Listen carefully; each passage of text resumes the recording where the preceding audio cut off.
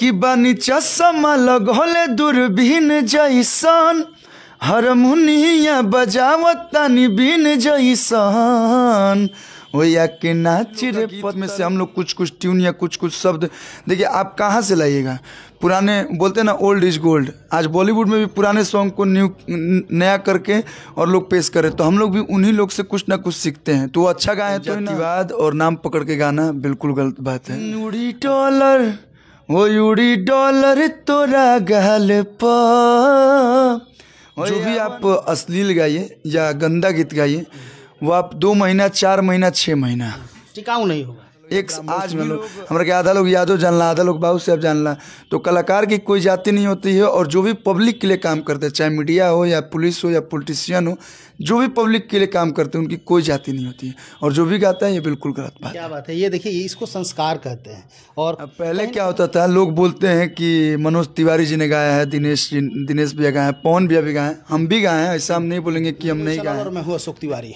इस वक्त मैं आप लोग को मिलवाने जा रहा हूँ भोजपुरी के सुपरस्टार अ, अरविंद अकेला उर्फ़ कल्लू जी कल्लू जी कैसे हैं आप? मैं बहुत बढ़िया हूँ और समृद्धि न्यूज़ देखने वाले सारे दर्शकों को मेरा सादर प्रणाम।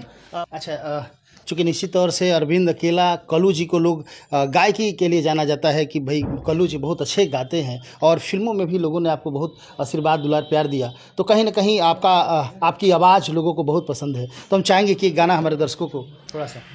जी। कि बानी चश्मा लगौले दूरबीन जैसन। हारमोनिया बजावत तानी बीन जैसन। ओया के नाच रे पत्थर की नागिन जैसन। क्या बात है, बहुत सुंदर। तो आप देख रहे हैं, अरविंद अकेला कलू जी हैं। और निश्चित तौर से यदि जिस तरह की बातें अभी चल रही है चर्चा का विषय बना हुआ है हर कोई जातिगत या फिर जातिवाद को लेकर गाना गा रहा है लेकिन कलू जी इसमें बिल्कुल ही हट के जाने जाते हैं। ये कभी भी इन्होंने ये नहीं बताया कि मैं ब्राह्मण हूँ या फिर ब्राह्मणवाद से करके कोई गाना हम तो नहीं सुने हैं शायद आप लोग जानते हैं या नहीं। इस तरह का कोई गाना हमारे ख्याल से तो नहीं आया होगा कि आया था? देखिए जातिवाद और नाम पकड़ के गाना बिल्कुल गलत बात है। अब पहले क्या होता था? लोग बोलते हैं कि मनोज तिवारी जी ने गाया है दिनेश जी दिनेश भैया गाए हैं पवन भैया भी गाए हैं हम भी गाए हैं ऐसा हम नहीं बोलेंगे कि हम नहीं गाए हैं। लेकिन पहले हम लोग टारगेट करके नहीं गाते थे। अब टारगेट होके हो रहा नाम पकड़ के गाना अगर कोई कोई गाने का नीड होता है जैसे आप हिंदी में भी सुनेंगे कि सीला सीला की जवानी या मुन्नी बदनाम हुई चाहे भोजपुरी में है कि ही ही हंस रिंकिया के पापा या मैंने गाया था कि पिंकिया के पापा पकड़ लिए थे या जो भी। तो वो सब सॉन्ग सुन के हँसी आती थी चेहरे पे। लेकिन आज के जो सॉन्ग होते हैं जो भी हमारे भाई गाते हैं मैं उन, उनकी अपनी सोच है वो गाएँ।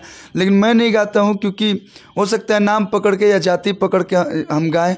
तो एक यादव ही सुन के हमको नहीं यहाँ तक लाए हैं। या हम बोल दे कि बाबू साहब लोग सुन लो या ब्राह्मण सुन लो। हमारे के आधा लोग यादव जानला आधा लोग बाबू साहब जानला तो कलाकार की कोई जाति नहीं होती है और जो भी पब्लिक के लिए काम करते हैं चाहे मीडिया हो या पुलिस हो या पॉलिटिशियन हो जो भी पब्लिक के लिए काम करते हैं उनकी कोई जाति नहीं होती। और जो भी गाता है ये बिल्कुल गलत बात क्या बात है? ये देखिए इसको संस्कार कहते हैं। और कहीं ना कहीं कल्लू जी के अंदर वो संस्कार झलकता है और उनको पता है कि मुझे क्या करना चाहिए। कोई भी शब्द लिखिए फेसबुक पर सोशल मीडिया का आजकल जमाना बा तो जौन भी चीज़ लिखी लोग अगर केहू गलत बोलता है या केहू गलत गावता है, अगर आप गाली दे दे तो आप में कलाकार में और आप में का फ़र्क रह जी। नो डाउट जागरूक लोग हुए हैं, मीडिया भी इस पर खुल के मतलब जो भी अश्लील गा रहा है उसको इग्नोर कर रही है। तो हम यही कहेंगे कि यूट्यूब का ज़माना है। पहले क्या होता था सीडी कैसेट होता था या ऑडियो टेप टेप वाला होता था। तो आप खरीद के लाए हैं बीस रुपये, पचास रुपये का तो मजबूरी था, आठों गाना सुनना है। लेकिन आज के समय में मजबूरी नहीं है। तो आप लोग को अगर नहीं सुनना है तो आप लोग उसको इग्नोर कर दीजिए और हम बोलते हैं कि अगर आप भजन सर्च कीजिएगा तो गजन नहीं आएगा।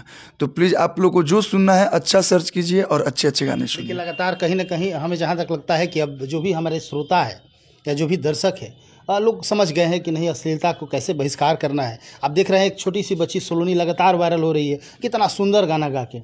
और हर कोई उसके साथ क्या कहना चाहेंगे? देखिए जो भी आप अश्लील गाइए या गंदा गीत गाइए वो आप दो महीना चार महीना छः महीना।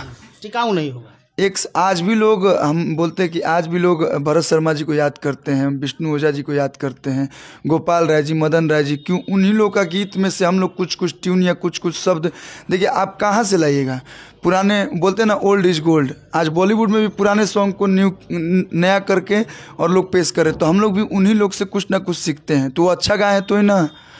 नो डाउट बहुत सारे सॉन्ग हिट हुए होंगे गंदे लेकिन आज आप याद करते हैं अगर कोई भी बड़ा फ़ंक्शन होता है भोजपुरी का तो वहाँ पे हम लोग भरत शर्मा जी को बुलाते हैं भरत चाचा को बुलाते हैं विष्णु ओझा जी को बुलाते हैं। तो आप ऐसा काम करिए कि प्रेजेंट नहीं आपका फ्यूचर बेस्ट हो। क्या बात है बहुत सुंदर। कलू जी चलते चलते हमारे दर्शकों के लिए एक मीठा सा कोई गीत जो जो अभी अभी आजकल वायरल होता है वो गाना हम गोले बनी सारे का हम भोजपुरी से लेकिन उड़ी वो उड़ी डॉलर तोरा गल पर वो नाच ढोलक झाल प। और इस गीत के राइटर जाहिद अख्तर जी हैं जिन्होंने हमारे लिए और लोग के लिए तो उन्होंने बहु, बहुत सारे सॉन्ग लिखे हैं लेकिन हमारे लिए सबसे पहला हम देवी गीत बोल रहे? हैं झूला झूले शेरा वाली और ओकरा में जौन जितना भी गाना वहाँ के लिख रही सब सुपर डुपर हिट रहे। तो बचपन में भी वहीं के लिखनी और फिर थोड़ा सा उम्र भैल तक वहाँ के सैड सॉन्ग लिख रही कवर पर भी अभी मुलाकात हुई। आ, जवानी में भी इतना बढ़िया सुंदर गीत लिखनी तो राइटर जे भी राइटर होला हमारे साथे बानी, जैसे रुआ कनी कि, के गीत लिखेला तो हम राइटर लोग बहुत इज़्ज़त, सम्मान, मान, प्यार, देना का है कि सबसे पहला पिलर वहीं लोग बनाते हैं। तो उस पर हम लोग अच्छा सा घर और अच्छा से अच्छा तो अच्छा से डिज़ाइन करते हैं। तो थैंक यू बोलना चाहेंगे सारे राइटर लोग को जो इतना प्यार और आशीर्वाद देते हैं। क्या बात है। बहुत बहुत धन्यवाद आपको भी और आपके इस अच्छे आपके अंदर जो गुण है, आपके अंदर जो क्वालिटी है इसके लिए। तो आप देख रहे थे हमारी बात हो रही थी, अरविंद अकेला और कलू जी हैं। निश्चित तौर से पहले क्या थे या क्या गाते थे मतलब उससे नहीं है। जब लगे कि नहीं, जब हो चूँकि शुरू से बचपन से हम लोग इनको देखते आ रहे हैं। एहसास हुआ कि नहीं, मुझे अच्छा करना चाहिए। और हमारे गीत से या हमारे फ़िल्म से लोगों के अंदर डायरेक्ट रूप से कहीं ना कहीं कोई प्रभाव पड़ता है। तो अपने अंदर यदि सुधार कर लिए और अच्छा कुछ परोसने की कोशिश किए तो वहीं से आप इंसान बन जाते हैं। तो देखते रहिए और अरविंद अकेला उर्फ़ कल्लू जी को लगातार आशीर्वाद प्यार दीजिए, ताकि इसी तरह दिन दुना रात चौगना बढ़ते रहें। Thank you